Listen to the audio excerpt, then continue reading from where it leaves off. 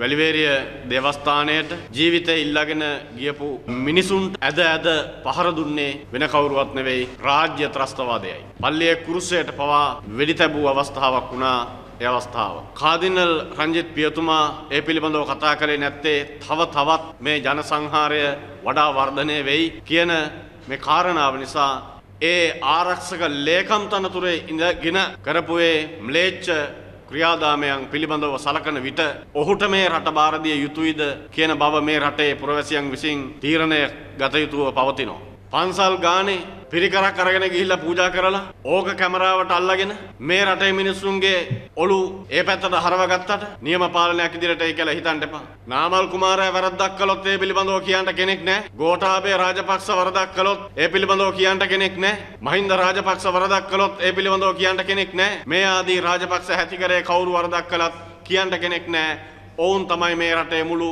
සියල්ල වසාගෙන පාලනය ඉල්ලන්නේ. ඔබට මම මේ කියන වචනය තේරේවි මේ රටේ වහල්ලුන් හා සමානව පුරවැසියන්ට ඉන්ට වේවි. එදාට ඔබට තේරෙයි ඔබ උඩ දමාගෙන ඔය යන දේශපාලන ව්‍යාපාරය දේශපාලන හැරවුම කොයි තරන්දුරට බරපතල උනාද කියලා මම රතුපස්වල හඬ හමුවෙහි ඔබට පණිවිඩය දෙනවා. අපි ඉල්ලුවේ වතුර අපි ආණ්ඩු පෙරලන්න ගියේ නෑ එතන. බිරිඳත් මගේ දරුවත් එක්කලා මං ගියේ එතෙන්ට. ගිහිල්ලා අපි මේ ප්‍රශ්නෙට කතා කරලා අපි ඉල්ලුවේ ඒ ඉන්න රාජ්‍ය නායකයන්ට ඇවිල්ලා අපේ ප්‍රශ්නෙට පිළිතුරු දෙන්න කියලායි. දෙපතුල් වැන්දා. වැන්දලා අපි ඉල්ලුවේ අපිට මේ ප්‍රශ්නය ගොඩින් බේරලා මේක විසඳලා දෙන්න කියලා.